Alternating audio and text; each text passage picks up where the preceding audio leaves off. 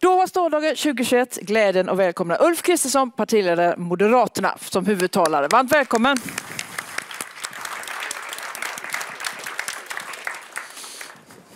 Tusen tack! Även ni på restaurangen där uppe. På den sista frågan kan jag säga att jag hoppas inte, jag vet att jag kommer göra det. Jag kan komma tillbaka till det. Jättekul att vara tillbaka i stålindustrin, vågar jag säga. Jag har ingen framtid i stålindustrin personligen, men jag har ett förflutet. Jag är ett barn av stålindustrin, höll jag på att säga. Min pappa var nymakad ekonom, matematiker och den tidens ADB-människor. Ifall ni minns, för yngre tittare eller lyssnare kan man säga att, jag vågar knappt säga vad ADB betydde, men det som så småningom blev datorer i alla fall. Eh, och han hade ett mål, han skulle till stålindustrin och hamnade på Gränges Nyby i Torshälla. Där jag växte upp, i ett litet brukssamhälle med brukssamhällets alla för och nackdelar. Men framförallt så hängde jag väldigt mycket där borta bland de andra barnen till stålindustrimänniskorna och följde pappas resa i detta med exportindustri och eh, det fanns inte en pryl hemma hos oss som inte borde vara tillverkad i stål. Han gav några, en del oförglömliga upplevelser av, av detta. Hörrni, jag tänkte bidra med eh, några, tre stycken mer industriella reflektioner. Eh, där jag är den första att inse att ni är mycket, mycket mer sakkunniga i detta än vad jag är. Men där jag har funderat kring vad politiken måste göra för att kunna möta industrin i det läge vi är nu. Och så tänkte jag bidra med en mer rent politisk reflektion på slutet som är mera min huvudverk än er huvudverk. Men det jag lovar att om vi inte lyckas med detta så blir det er huvudverk. Den första reflektionen handlar om att även i ett läge där vi är i mycket snabb omvandling, det beskriver ju ni väldigt väl hela tiden, det snabba internationella omvandlingstrycket, innovationerna som skapar Eh, snabba processer därefter. Även mitt i snabb omvandling så måste ett land bygga på historiska styrkor. Slarva inte bort dem. Har ju varit världsledande i gruv och mineral i flera hundra år. Slarva inte bort den kompetensen bara för att omvandlingen gör att det nu sätts i ett helt annat ljus i frågeställningar som ingen kunde drömma om på 16, 17 och 1800-talet.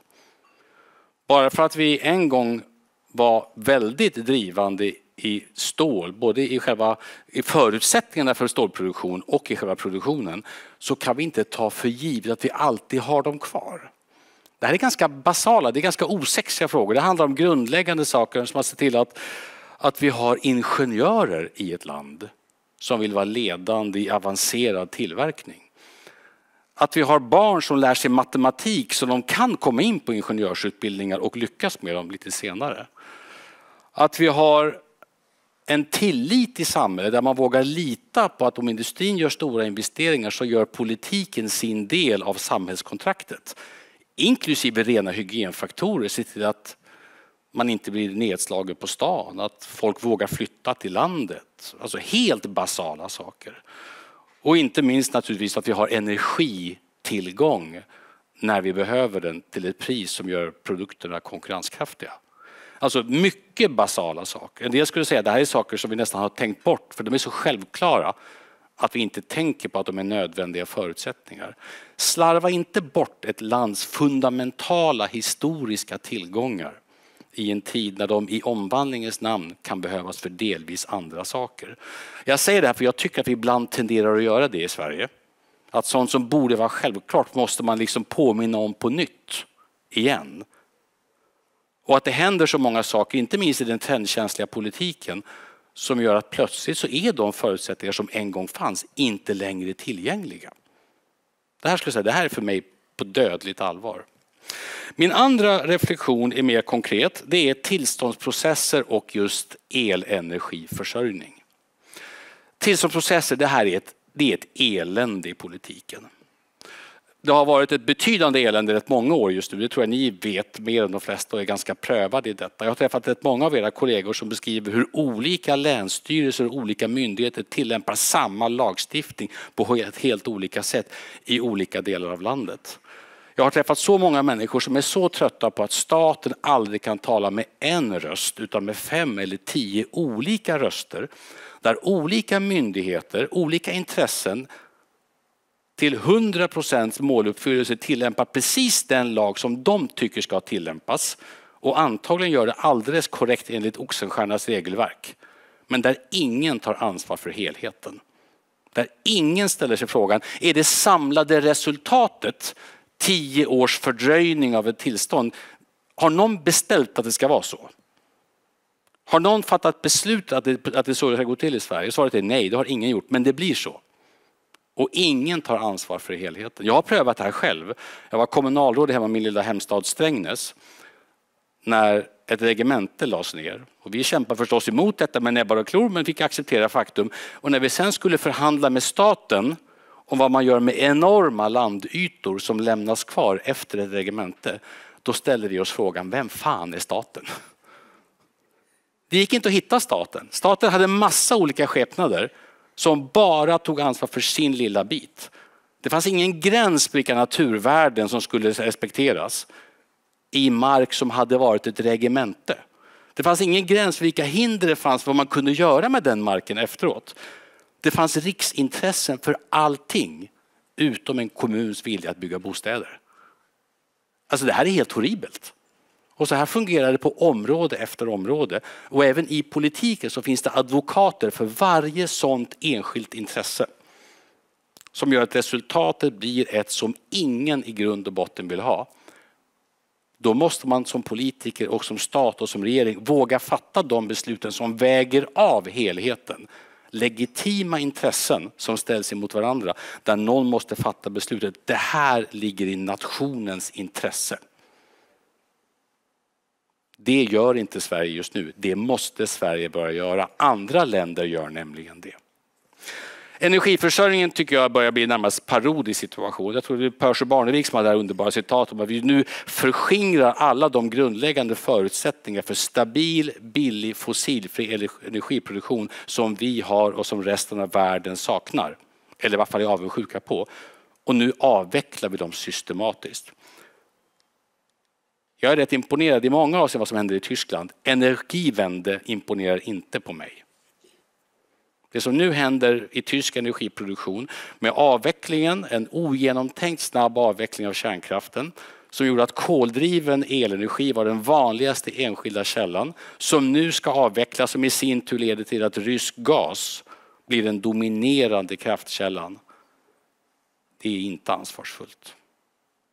Det är riktigt dåligt till och med. Den långsiktiga trovärdigheten i superavancerade tyska elektrifierade fordon till exempel som är tillverkade på en energimix av fossilt eller av gas och som sen ska livstidstankas på den energimixen kommer inte imponera på den som vill vara klimatsmart. Alltså energifrågan är fundamental tycker jag. Nu har vi haft i princip en förlamning i Sverige sedan 1980 i kärnkraftsfrågan. Den går inte att förlänga den, den, den förlamningen. Vi måste se till att det är fossilfritt som är huvudmålet. Vi måste se till att den stabilitet som vattenkraft och kärnkraft skapar i systemet som gör att det är möjligt att lägga till väldigt mycket vindkraft också, att den garanteras. Och staten kan inte abdikera ifrån ett lands samlade energisystem. Jag är helt övertygad om att Sverige måste både förlänga och nyproducera kärnkraft om vi ska ha en chans att nå upp till svenska och internationella klimatomställningsmål.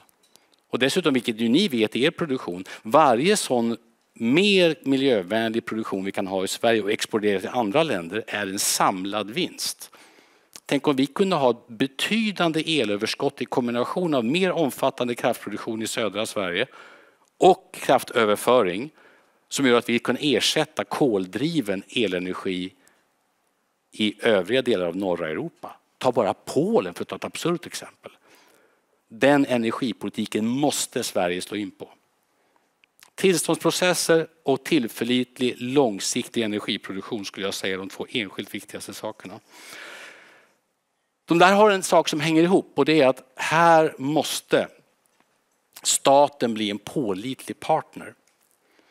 Förr i tiden sa vi ofta i politiken, lite självförmätet, att, eller lite förmätet, att politiken är ju långsiktig.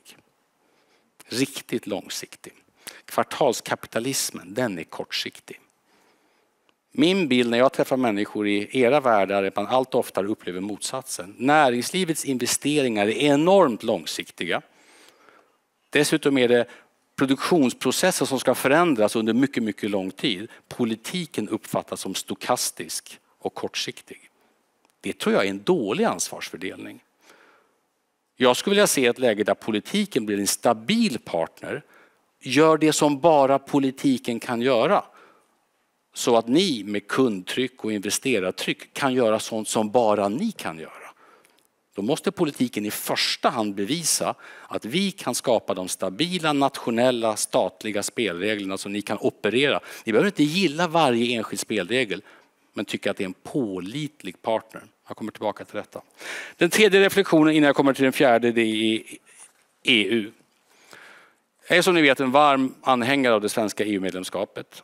Jag är dessutom krass nog att inse att Sverige behöver EU och den inre marknaden mer än vad EU behöver Sverige. Ibland måste det bara sägas så man har klart för sig maktförhållandena. Sverige behöver EU och den inre marknaden. Även om det sker saker vi inte gillar.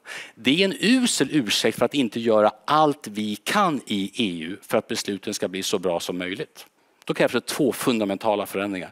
För det första så kan inte Sverige abdikera när vitala svenska intressen äventyras. Hela taxonomifrågan tycker jag är rent vanskött. Den äventyrar på allvar vitala svenska intressen. Förstår man inte vidden av svensk kraftproduktion och svensk skog i ett europeiskt perspektiv när en del länder tycker att varje skogsdunge är ett museum. Då får man allvarliga problem. Om man dessutom inte förstår att man måste vara inne i processerna väldigt tidigt, skapa allierade som tycker likadant och göra allt man kan för att styra om EU-processer, då kommer man vara förlorare i detta. Jag tycker att den svenska regeringen alldeles för sent har insett att en del av våra partners som har stoppat saker och ting i kraft av sin storlek inte längre finns med. Sverige måste ha en mycket, mycket mer framåtlutat förhållningssätt och ta mycket fler strider. Inte minst för vi vet att det finns inget alternativ. Vad som än händer i EU så kommer vi behöva EU och den inre marknaden. Då måste Sverige ta mycket, mycket mer plats och värna vitala svenska intressen gentemot resten av Europa. Min fjärde och sista synpunkt den är rent partipolitisk, eller i varje fall rent politisk. Jag förstod att eh, Karl Petter Thorwaldsson och Annie Lööf var väldigt överens här för en stund sedan om att regeringen nu på nio månader ska göra det de inte har gjort på sju år. Lycka till säger jag bara. Men allvarligt talat, det här är faktiskt på riktigt. Vi har en regering som har bestått av ett regeringsunderlag med Socialdemokraterna, Miljöpartiet, Vänstern och Centern de senaste sju åren. De har blockerat varandra i helt fundamentala frågor. Inte av slarvighet, utan därför att framförallt Miljöpartiet och Vänsterpartiet vill helt andra saker och dikterar ytterst villkor för vad man kan fatta beslut om. Det betyder i praktiken att vi nu har en regering som i nio månader skulle kunna göra lite nytta i den sortens frågor som det bara krävs ett regeringsbeslut för. Till exempel fatta beslut om slutlagring av kärnavfall. För att sen efter valet hoppas återinträda som regering i en ny konstellation av Socialdemokraterna, Vänsterpartiet, Miljöpartiet och Centerpartiet. Den regeringen kommer inte få något av det här gjort som jag tror är absolut nödvändigt. Jag begär inte att ni ska bli partipolitiska. Vad jag begär är att om man inte förstår att en regering inte kan operera mot en riksdag och att den regering som tillsätts på ett antal partiers nåder inte kommer kunna motarbeta de partierna, då förstår man inte mycket om politik. Jag är övertygad om att det kommer krävas ett maktskifte för att genomföra fundamentala förändringar som i sin tur gör att Sverige kan blomstra som ett industriland. Allra sist, när jag var liten så brukar man ibland säga att staten och kapitalet det var ett minne av någonting lite sunkigt ärligt talat. Någon från näringslivet satt med någon från finansdepartementet i en rökig lokal och gjorde på ett illegitimt sätt upp om saker och ting utan insyn. I den mån det var så, så var det dåligt. Så ska det inte fungera. Sen blev ju staten och kapitalet, ifall ni minns, en ganska bra cover av Ebba Grön, tror jag. Vad jag skulle efterlysa det är en ny staten och kapitalet. Det är en staten och kapitalet där staten och kapitalet har respekt för varandras olikheter och olika logik i beslutsfattande. Transparent. Vi har väljare och offentlighetsprincip. Ni har kunder, anställda, investerare.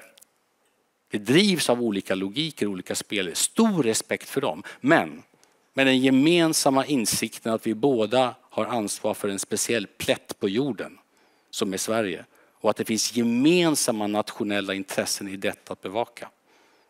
Det handslaget skulle jag vilja ha. Men det handslaget löser man alltså inte genom att hålla högtidstal om allt som borde ske men som inte kommer ske därför att en regering inte är kapabel att fatta beslut. Jag är för högtidstalen om man sen svarar upp mot dem i fysiskt beslutsfattande. När vi har vunnit nästa val om exakt nio månader, då kommer vi lägga om spelreglerna för detta. När vi har vunnit valet kommer Miljöpartiet inte kunna kidnappa svensk industripolitik. Det är inte ett hot, det är ett löfte. Tack.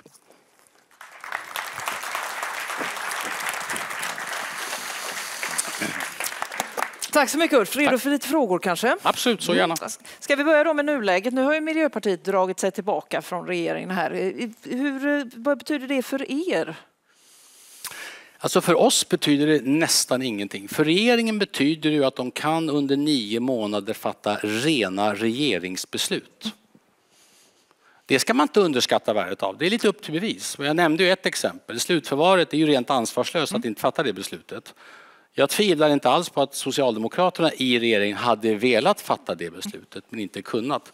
Jag brukar ibland påpeka att det är en av många orsaker att man gärna ska samarbeta med partier där man har snarlik uppfattning men bilda inte regering med partier där man inte har en så gemensam uppfattning att man kan kompromissa om alla frågor.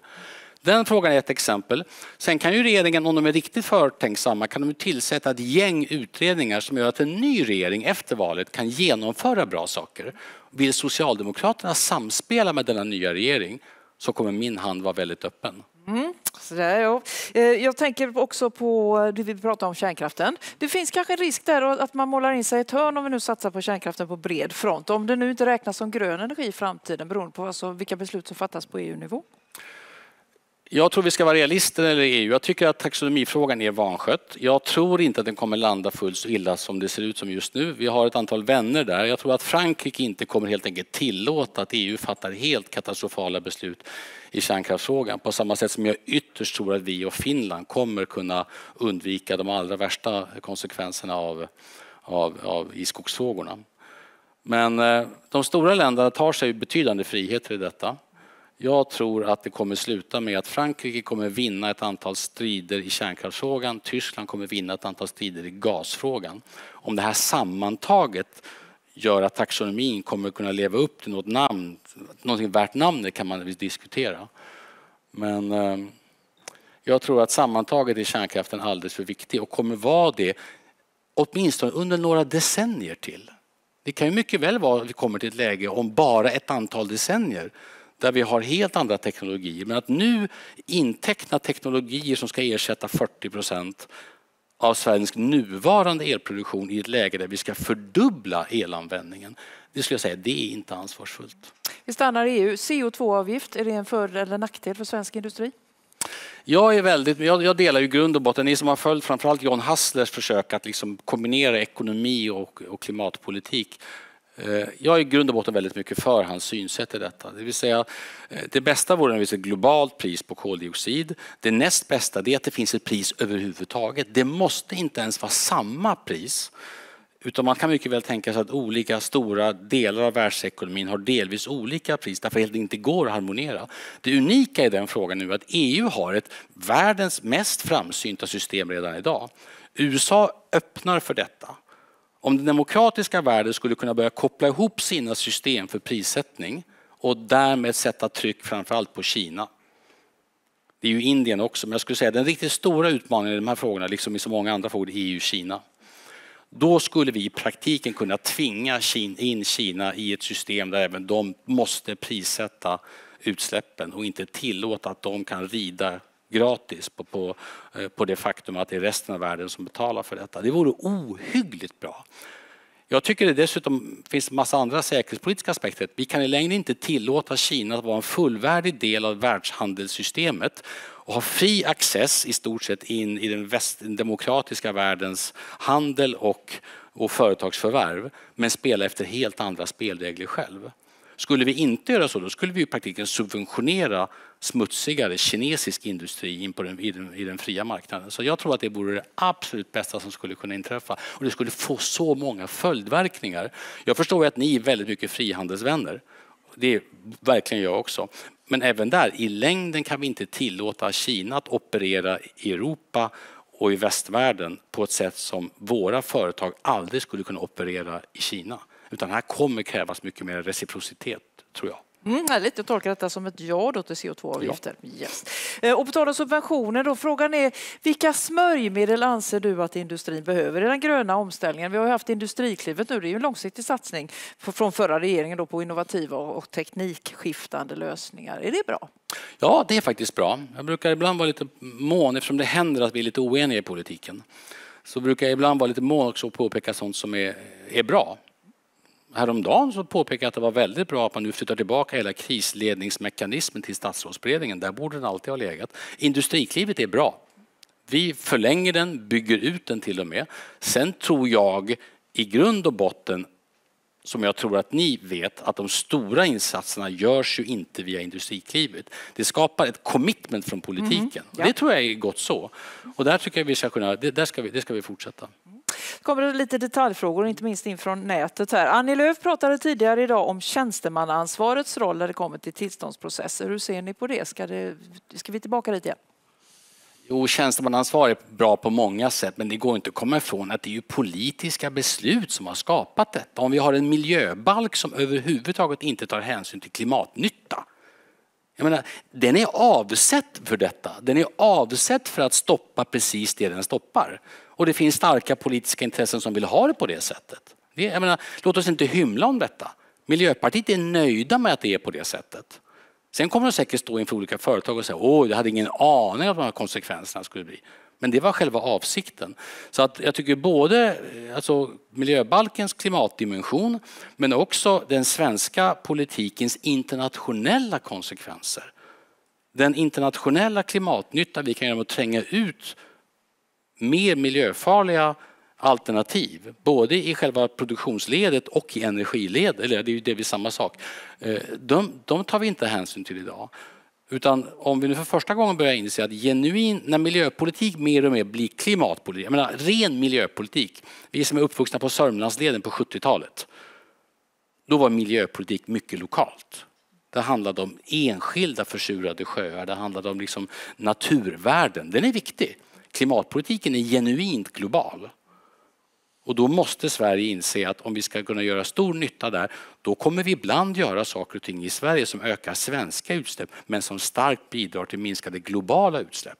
Den sortens rationell miljöpolitik, där tycker jag, eftersom ni är helt immuna mot smicker så vågar jag säga det, där tycker jag att er liksom lite handfasta rationalism i de här politiska frågorna är mycket hälsosammare än vad politikens väldigt känsloladdade eh, symbolfrågor är. Tillbaka till svensk mm. lagstiftning här. Då vill ni ha en översyn av miljöbalken i så fall i vilka avseenden? Ja, utan en sekunds tvekan. Helt nödvändigt skulle jag säga. Jag skulle säga att det finns tre det finns några stora lagkomplex eh, som måste skrivas om. Miljöbalken, absolut, därför den måste, ta, den måste tas in i den moderna tidens eh, klimatperspektiv, om man ska uttrycka det enkelt. På samma sätt som hela, hela brottsbalken måste skrivas om och ta in brottsofferperspektiv. Och jag kommer från socialpolitiken. Hela den grundläggande lagstiftning som handlar om socialt utsatta barn som ett 70-talsresultat måste också skrivas om. Vi pratar om ganska stora lagstiftningskomplex. Mm. Det här kräver alltså att man har en politisk uppfattning om vart man vill gå någonstans och inte bara har en politisk uppfattning om att undvika problem. Eh, ni vill ju också ha att vi ska bli en ledande gruvnation igen i Sverige och då vill ni ha en myndighet för tillståndsprocesser. Kan du utveckla det? Handlar det om alla slags tillstånd där som ska in? Eller vad? Nej, men det vi har sagt i de här frågorna är att ibland, alltså det är ju ingen tvekan om att tillståndsprocesser kommer vara komplicerade. Det räcker att titta på några av de företag som ni känner till och deras inlämnade ansökningshandlingar. Det kommer vara komplicerade saker, det ska man inte sticka under stol med. Vad vi har konstaterat är att enskilda kommuner och enskilda länsstyrelser är inte och kan inte vara rätt utrustade för gigantiska ansökningsprocesser som har nationell betydelse. Utan det skulle kräva mycket mer av ett, av ett gemensamt nationellt tag i detta. Jag tycker inte det är särskilt konstigt. Vi såg det under pandemin. Jag har väldigt stor respekt för många regioner som vågar ställa om akutsjukvård till att hantera covid-sjuka. Men att 21 kommuner ska uppfinna system för smittspårning och testning och vaccinering var och en för sig. Det är bara, det är bara dumt. Då ska man ju använda statens nationella resurser till att göra sådana saker. Här tycker jag en typ, tillbaka till så här, mm. nationens intressen. Vi måste kunna definiera ett antal saker som är bra för oss som helhet. Där sen delarna får rangera in sig som just delar i helheten. Inte låta helheten bli summan av alla delar och en summa som ingen egentligen vill ha. Mm, vänder lite på kuttingen där. Är det någon fråga i rummet ifrån golvet här så är det dags att ge sig till känna nu. Or forever remain silent. Ingen just för tillfället. Vi har ju vår digitala ingång också här i detta. Det står att tidigare hade vi en diskussion om förtroende och tillit mellan industri och politik. Tycker du att det finns en tillit mellan industrin och politiken? Nej, det tycker jag i grund och botten inte. Det är ju en jätte, det är närmast en seminariefråga. Jag förstår att vi inte har den tiden. Men om man bara tittar på några saker. En fundamentalt problem i svensk politik det är att det är väldigt få i politiken som har någon som helst erfarenhet av ledande befattningar i näringslivet. Alltså extremt ovanligt. Därmed också liten erfarenhet av att riskera egna pengar och investerares pengar och inte bara skattebetalarnas pengar. Väldigt få som är vana att det finns andra pengar de man helt enkelt beställer fram. Och det säger jag inte för att ironisera över skattepengar, de är jätteviktiga också. Så hela det perspektivet är ovanligt. Det är också rätt ovanligt, tror jag, i era lednings och styrelserum människor som har hyggligt avancerad kunskap om hur politiken fungerar. I min föreställningsvärld åtminstone. Så jag tror att det där är ett av många problem. Ett annat problem i det här, det tycker jag har varit de olika liksom, tempot på något sätt. Alltså, ni är ju vana vid att det går fort, det är hög omställningshastighet. Politiken är van vid att det går så fort som partierna tillåter. Helt enkelt. Och tillåter man inte snabbare beslut än så, då kommer andra länder bli snabbare. Och så äventyrar vi sånt som har varit historiska framgångar. Så det var det jag menade. Min poäng var inte att säga med staten och kapital att vi liksom suddar ut alla gränser. Det var inte alls det. Min poäng var att konstatera att ett av världens mest utrikeshandelsberoende länder som har byggt hela sitt välstånd på avancerad, på avancerad industri kan alltså inte bara anta att det finns här för evigt utan måste liksom ha nationell politik som värdesätter och utvecklar detta. Det var min poäng. Och det säger jag alltså inte för att säga att miljöintressen inte är viktiga eller att social hänsyn inte är viktig. Man måste liksom komma tillbaka till detta. När den svenska regeringen prioriterar den sociala pelaren i Europa då är det en fundamental felinvestering av nationella politiska resurser som borde användas till konkurrenskraft eller till att stoppa taxonomifrågor. Alltså det, alltså, och ibland så blir politiken lite för mycket av ett sällskapsspel tycker jag. Och det kan man möjligen unna sig om man inte har några problem av vikt att prata om. Det sista skulle jag säga att jag tror att man ska inte bli vid sin läst bara, man ska visa nyfikenhet för andra. Men om politiken kunde bevisa för resten av Sverige att vi är riktigt kapabla på att lösa sådana problem som bara politiken kan ta ansvar för. Brottsligheten, skolan, den grundläggande sociala välfärden. Riktigt bra på detta. Då skulle också trovärdigheten som partner i många andra frågor ökar rätt betydande tror jag. Nu tror jag vi äventyrar vår grundläggande auktoritet just nu i politiken. Dels genom att misslyckas med sånt som bara vi kan göra, men också med sådana här rena cirkusfasoner som i förra veckan, när politiken nästan gör sig till åtlöje för andra människor. Det tror jag är genuint skadligt. Det finns ju en oro också för att det, den politiska situation vi har plus ett valår på det, att de frågorna som är viktiga för stålindustrin, de hamnar på vänt. Är det, är det en realistisk farhåga? Ja, det är mycket, absolut en realistisk farhåga. Och jag, återigen, jag, jag, jag har ingenting emot när vi då och då hittar, hittar varandra i politiken. Jag är, jag är en varm vän av stora breda överenskommelser om de betyder någonting, verkligen. Och ibland har vi slutit sådana under vårt ledarskap, ibland under socialdemokratins ledarskap. Det är en väl känd hemlighet att Moderaterna och Socialdemokraterna traditionellt i relativt stora frågor har kunnat hitta varandra. Har man sagt det så måste man säga att när det inte längre finns något parti som ligger mellan 40 och 50 procent utan det största partiet har 26-27 procent. Det är ju inte illa om jag har 22 procent men det är rätt långt i egen majoritet.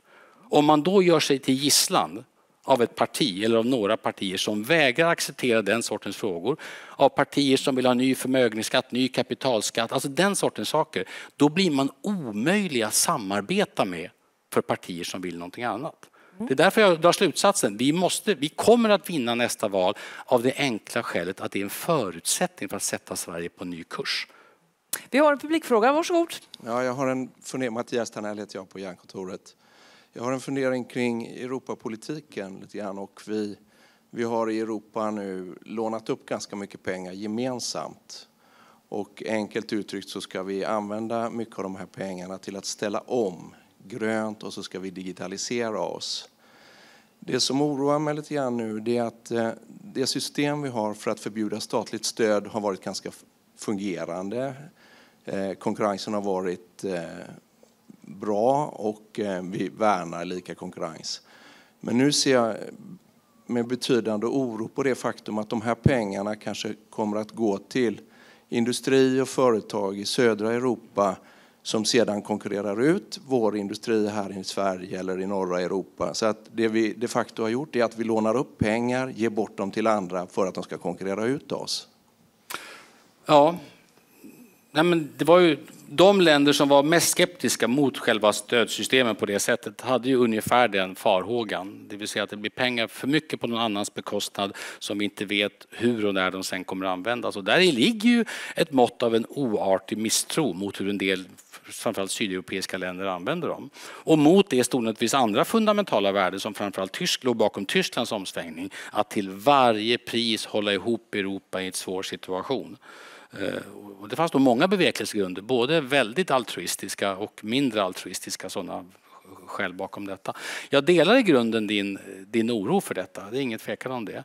Sen tycker jag man ska, och det är väl också ett skäl att vara, att vara ordningsman i EU på det sättet och vara på de här systemen mycket. Sen är det ju också ett skäl att göra rätt även hemma vid det är lite paradoxalt att i ett läge där vi misstänker att andra länder tar sig stora frihetsgrader så är vi själva världsbäst på att närmast överimplementera EU-regler och därmed snarare dra åt snaran för svenska företag på ett sätt som ing, eller få andra länder skulle komma på att göra. Så det finns något lite, om det är kulturellt eller vad det är, där jag tycker att där vi inte maximerar svenska nationella intressen i den Ja, mm. lite naiva. Det kan finnas ett mått av naivitet. Och om, om, man ska vara ärlig, naivitet det är ju ett överslag av rätt hög tilltro. Eller hur? Och jag tror att den här grundläggande tilltron, att vi tror om andra, grund och botten andra om väl, det gäller både andra länder och andra människor, den är i grund och botten en tillgång. Men den måste man leva upp till också. Det tycker vi har sett i ganska många olika sammanhang nu. Att, att i, i, en delvis annan värld, också där globalisering går så långt på alla möjliga avseenden, då kräver det också att man inser att andra länder kommer tillämpa samma regler på ett annat sätt. Jag tänker, mycket av det du har sagt har manat till eftertanke. Vi hinner en fråga till mm. tror jag, där vi har längst bak i rummet. Hej. Hej, Kerstin Hallsten från Industriarbetsgivarna och Skogsindustrierna. Eh, ibland i debatterna känns det som att eh, de olika partierna egentligen har ganska mycket samsyn. Men sen är det väldigt mycket bråk ändå och det känns lite grann att man måste kasta in grus i maskineriet för att man ska ha ett existensberättigande. Och då, och då undrar jag, tycker du att vi har för många partier? Tycker du att vi bör ändra vårt valsystem? Det känns ju viktigt framöver att vi har eh, Eh, en regering som kan regera och att vi inte hamnar i de här minoritetsregeringarna. Mm. Om man vore statsvetare då skulle man ju säga att i längden har vi bevisat nu att det är en rätt dålig idé för ett land att välja regering på ett sätt och välja politik på ett helt annat sätt. det bäddar ju för ett läge där man nästan nu ungefär som Annie Lööf brukar säga, Socialdemokraterna får välja. Antingen får de regera eller får de igenom sin politik. Jag är ju gammaldags nog och tror man vill regera för att få igenom sin politik. Det var liksom det som var själva idén med att regera. Nu har vi kommit i en helt besynnerlig situation där det inte längre gäller. Det är dåligt. Nu har vi den grundlag vi har och skulle man nu säga nu gör vi ingenting förrän vi har ändrat grundlagen, då skulle ni bli ännu mindre imponerade kan jag säga. Utan nu måste man operera med det som gäller. Och då tror jag att, att alltså i längden, så här är det. Ett reger, där delar jag Nooshi Dadgostars uppfattning. En regering och ett regeringsunderlag måste vara på riktigt. Måste inte tycka exakt lika, men det måste vara på riktigt i så mått att man bestämmer sig för att regera för att man har samsyn i så pass stora och viktiga frågor att man vill gå i samma riktning. Om man inte ens har det kittet i en regering, då, är, då ska man ju säga som det är. Vi regerar bara för att de annan inte ska få regera. Det är den enda drivkraften vi har. Och det läget har vi nu haft ett antal år. Nu tycker jag det var lite uppfriskande, ska jag ärligt säga, att Vänsterpartiet med viss tydlighet markerat att de fanns. Det finns ingen längre som tror att Vänsterpartiet inte existerar, att de inte kräver att få förhandla med den regering de ska stödja och att den förhandlingen leder till politiska konsekvenser. Det är väl helt rimligt. Jag tycker de har fel, men det är en rimlig demokratisk ståndpunkt. Det här kommer gälla alla partier. Det betyder att man bör inte regera om man inte tror att man har grundläggande stöd för den linje som man vill ha. Hade någon sagt till mig så här, hör du Kristersson, du får bilda regering om du lovar att höja alla skatter, om du lovar att gå ur EU, avveckla alla internationella åtaganden vi har och sen stoppa all industriproduktion. Då får du regera. Då hade jag faktiskt sagt tack men nej tack. Någon annan som vill ha den agendan och kan få stöd för den agendan vi kan ju inte låta småpartier kidnappa hela systemet. Jag tycker det är på gränsen till ansvarslöst att göra på det sättet. Men skulden ska ju inte läggas på Miljöpartiet som nog ärligt tycker detta. Som ärligt tycker precis det de säger. Utan skulden ska ju läggas på den som är beredd att internalisera den agendan och göra den till sin. Nu i nio månader stå och säga att de har en helt annan agenda för att sen om nio månader gå tillbaka till den gamla agendan. Jag tycker det är politiskt, ja, jag vet inte, jag tycker det är djupt ohederligt helt enkelt. Tack så mycket för dina skarpa och väldigt tydliga inlägg. Om vi jag brukar är... inte vara otydlig. Nej, Nej så, det är, så är det förvisso. Eh, om vi nu slutar, ändå on a high note här. Har du tilltro till stålindustrin? I mycket hög grad. Det beror inte bara på min pappas upplevelser utan i mycket hög grad. Dels för att ni, och det är ju ändå en viktig likhet med det som vi ser i gruvan, alltså det är så mycket av det ni gör som kommer ses i ett vid nytt ljus. Man kan använda i ett nytt sammanhang. Som ni själva ser dessutom till 100 procent återvinningsbart. Det finns så otroligt mycket av detta som, är liksom, som ser sitt perspektiv idag som ganska många inte tänkte på för bara ett par decennier sedan. Om vi dessutom då har en enorm tillgång i kapacitet och kunskaper så tycker jag att vi har en skyldighet att bygga vidare på det. Jag ska be dig stanna kvar en liten stund till. Först ska du få en välförtjänt applåd av, av vår auditorium här. Tack så mycket.